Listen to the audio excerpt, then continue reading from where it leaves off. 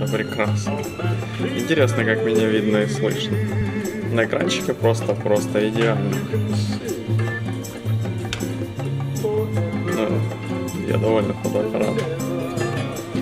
Ох, ебальник, жирный, капец. Вот это поворот! Так сидел.